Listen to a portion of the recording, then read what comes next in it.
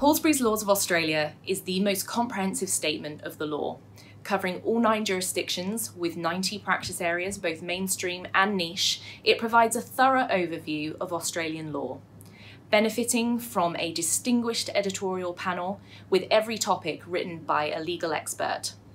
It contains direct links to Casebase and Law Now, providing a seamless research experience. Cited more than 320 times by the High Court of Australia, Halsbury's is Australia's highest ranked legal reference resource. It is the place to start your legal research. So let's take a look at why you need Halsbury's. Let's take a look at Halsbury's Laws of Australia, Australia's most comprehensive statement of the law. The easiest way to find the publication is using the big red search box on the homepage.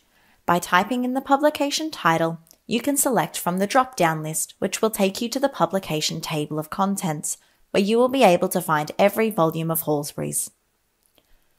From the table of contents, you can navigate to the volume you are looking for. They are all set out in alphabetical order.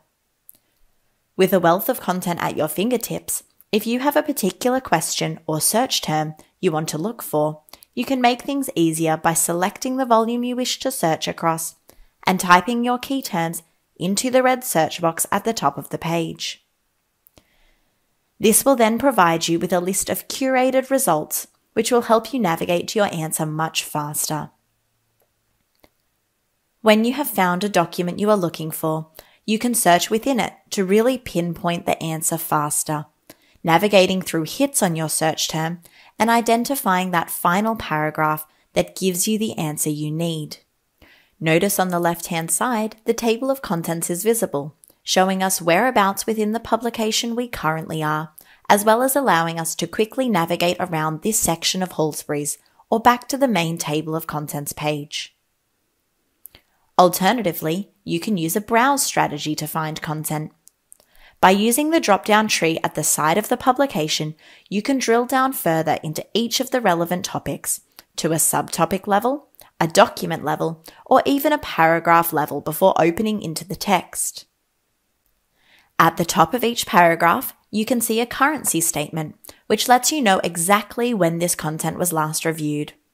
The notes section also includes hyperlinks into legislation in law now, relevant cases, including both reported and unreported judgments, Casebase signal information that links you to Casebase, and cross references to other guide cards within the publication.